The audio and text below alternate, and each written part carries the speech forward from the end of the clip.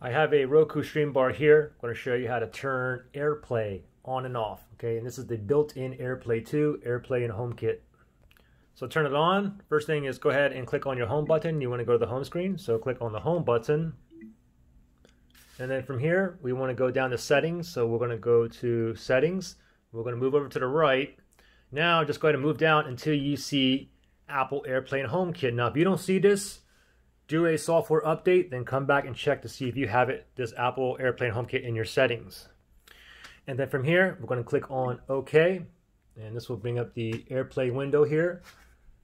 And to turn it on or off, you can see top right hand side, currently I have it on, you can go off or on, okay? And I'll give you a quick demonstration here. So it's on right now. Now it doesn't matter where you are on the TV. Let me grab my iPhone here.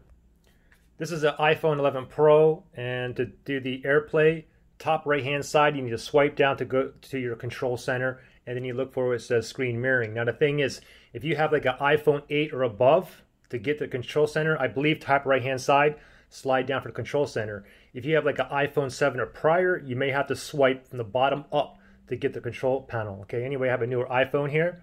Let me swipe down, let me tap on screen mirroring, and then let me find where it says, uh, okay, so I found my Roku stream bar. Let me tap on that. Another thing I want to note is that your uh, Roku Stream Bar and your uh, phone need to be on the same home Wi-Fi network because that's what the connection is going through. So they gave me a code here. A code here. The first time I connect, 9978. I'll click on OK and give this one second, and voila.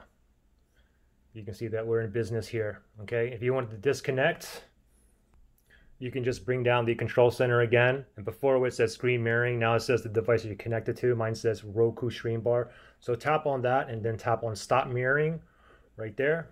And then there you go. Questions, issues, comment below.